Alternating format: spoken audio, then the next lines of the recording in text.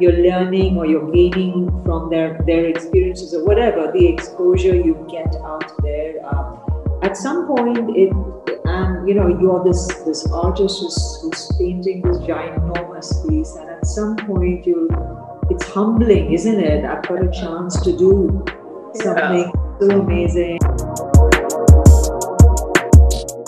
We watched the Republic Day parade from our It was brilliant. Yeah. I had, oh I think, so many layers of clothes. It was windy. You're on this uh, boom lift up like 130 feet high. Your whole perspective of life changes.